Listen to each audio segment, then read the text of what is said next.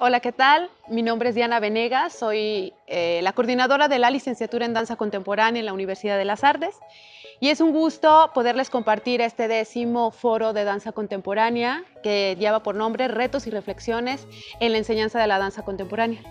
En este foro tenemos invitados muy importantes tenemos la participación de la Universidad Nacional de Costa Rica a través de la maestra María Elena Celedón, tenemos a nuestra maestra Naomi Bonilla, que es la directora de la Facultad de Danza de la Universidad de Jalapa. Tenemos dos universidades invitadas también, que es el ISAE de Guadalajara y la Universidad de Sonora, en donde van a compartir una función con nuestros alumnos de la Universidad de las Artes.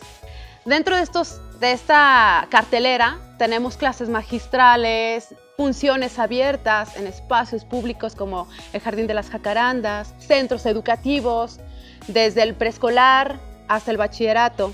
Tendremos también funciones con compañías profesionales y tres mesas de diálogo que sin duda no se pueden perder porque vienen invitados muy importantes, especialistas en su área, investigadores de la danza contemporánea, creadores con suficiente eh, escena y experiencia que seguramente harán de estas mesas una riqueza en cuanto a la crítica, la reflexión y la enseñanza de lo que estamos hablando, que es la danza contemporánea.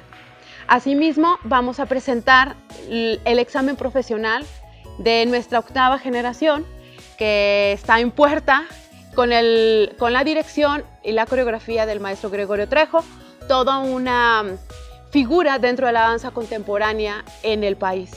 Entonces los invitamos a que estén atentos a la cartelera que estará a disposición de todos ustedes y que nuestros eventos son completamente gratuitos.